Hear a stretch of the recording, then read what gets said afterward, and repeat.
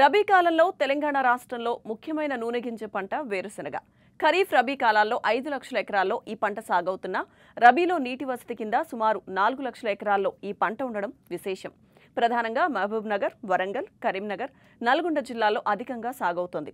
ప్రస్తుతం వేరుశెనగ విత్తేందుకు అనువైన సమయం. రైతు సాగుకు సన్నద్ధమవుతున్న నేపథ్యంలో రబీకి అనువైన రకాలు సాగులో పాటించాల్సిన మెళకువలను తెలియజేస్తున్నారు మహబూబ్ నగర్ జిల్లా పాలెం ప్రాంతీయ వ్యవసాయ పరిశోధనా స్థానం శాస్త్రవేత్త డాక్టర్ కె. శ్రీధర్.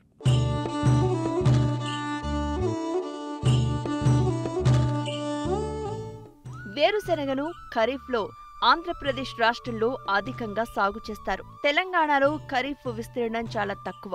వర్షాధార పంట కనుక ఏటా ఈ పంటను వాతావరణ ఒడిదుడుకులు బెట్ట పరిస్థితులు తీవ్రంగా దెబ్బతీస్తున్నాయి.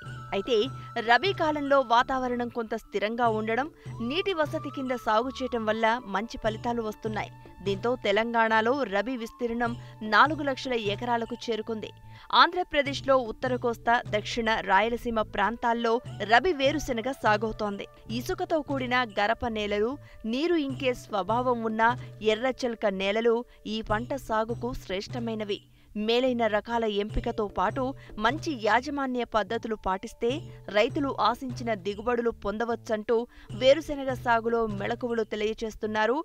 మహబూబ్ నగర్ జిల్లా పాలెం ప్రాంతీయ వ్యవసాయ పరిశోధనా స్థానం శాస్త్రవేత్త డాక్టర్ కె. శ్రీధర్. యాసంగి వేరుశెనగలో మనము పాటించే రకాలు మనకు చూసినట్లయితే ముఖ్యంగా రైతులలో బాగా ప్రాచుర్యం పొందిన కే సిక్స్ అనే రకము బాగా ప్రాచుర్యంగా ఉంది.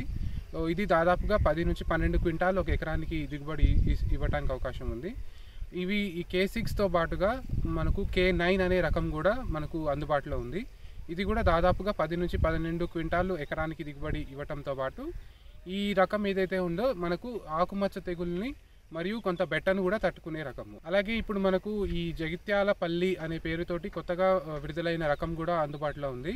ఇది కూడా దాదాపు పది నుంచి పన్నెండు క్వింటాల దిగుబడి ఎకరానికి ఇస్తూ మనకు తుప్పు తెగులని కూడా తట్టుకునే అవకాశం ఉంది. ఇంకొక రక ముఖ్యమైన అంశం ఏంటంటే మనకు యాసంగి సా వేరుశనగ సాగులో ముఖ్యంగా విత్తనం మోతాదు కనుక మనం చూసినట్లయితే దాదాపుగా మనం నూట ఇరవై కిలోల కాయని లేదా డెబ్బై నుంచి ఎనభై కిలోల విత్తనాన్ని వాడుకోవాల్సి ఉంటుంది. ముఖ్యంగా మనము ఈ వేరుశనగను ఇరవై రెండు పాయింట్ ఐదు సెంటీమీటర్ల దూరంలో వరుసలు మరియు పది సెంటీమీటర్ల దూరంలో మొక్కకు మొక్కకు మధ్య పెడుతూ మనము విత్తుకోవాల్సి ఉంటుంది.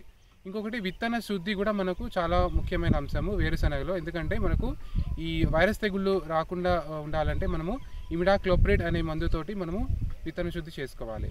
అలాగే మనకు ఈ తుప్పు తెగులు మరియు ఆకుమచ్చ తెగులు ఇటువంటి తెగుళ్ళు రాకుండా ఉండాలంటే మనము తెబుకనోజోల్ అనే మందుతో కూడా ఒక గ్రాము ఒక కిలో విత్తనాన్ని కలిపి విత్తన శుద్ధి చేసుకొని కూడా విత్తుకోవాల్సి ఉంటుంది. మనము చూసినట్లయితే ఈ వేరుశనగలో మనకు పోషక యాజమాన్యం కూడా అత్యంత ముఖ్యమైన అంశము. ఇందులో ముఖ్యంగా మనం ఆఖరి దుక్కులో మనము రెండు బస్తాల సింగిల్ సూపర్ ఫాస్ఫేట్తో పాటుగా ఒక ముప్పై మూడు కిలోల మ్యూరేట్ ఆఫ్ పొటాష్ వేసుకోవాలి. దీంతో పాటుగా ఒక పది నుంచి పదిహేను కిలోల యూరియాను వేసుకోవాల్సి ఉంటుంది. దీంతో పాటుగా మనం ఒక ముప్పై రోజుల తర్వాత మరొక పది నుంచి పదిహేను కిలోల యూరియాను వేసుకోవాల్సి ఉంటుంది. ఇంకొకటి ఏంటంటే మనకు ఈ వేరుశనగలో జిప్సమ్ అనే పోషకాన్ని మనము నలభై నుంచి నలభై ఐదు రోజుల సమయంలో తొలిపూత దశలో మనము ఎకరానికి రెండు క్వింటాళ్ళు జిప్సమ్ని అందిస్తే కనుక మనము ఈ వేరుశనగలో కాయ అనేది నిండుగా రావడానికి మరియు అధిక దిగుబడి రావడానికి అవకాశం ఉంటుంది. ఇంకోటి వేరుశనగలో మనము నీటి యాజమాన్యం ఎందుకంటే యాసంగిలో నీటి యాజమాన్యం కింద పండిస్తారు కాబట్టి ముఖ్యంగా దాదాపుగా వారానికి ఒక తడి ఇవ్వగలి ఇవ్వవలసి ఉంటుంది. అది అదే విషయంలో మనము తుంపర సేద్యం ద్వారా మనము నీటి తడిని ఇవ్వగలిగితే అధిక దిగుబడితో పాటు నాణ్యమైన వేరుశెనగ విత్తనాన్ని మనము పొందడానికి అవకాశం ఉంటుంది. వేరుశెనగ పంటకు నాలుగు వందల యాభై నుండి ఆరు వందల మిల్లీలీటర్ల నీరు అవసరమవుతుంది. తేలికపాటి నేలల్లో ఆరు నుండి ఎనిమిది తడులు ఇవ్వవలసి ఉంటుంది.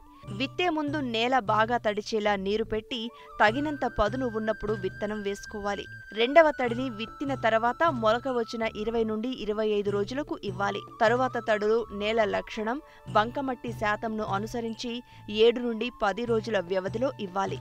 చివరి తడి పంట కోతకు నాలుగు నుండి ఏడు రోజుల ముందు ఇవ్వాలి. పైరు ఊడలు దిగే దశ నుండి కాయలు ఊరే వరకు అంటే విత్తిన నలభై నుండి యాభై రోజుల వరకు సున్నితమైనది. ఈ దశలో నీరు సక్రమంగా తగు మోతాదులో ఇచ్చినట్లయితే నాణ్యమైన కాయలతో అధిక దిగుబడిని పొందవచ్చు.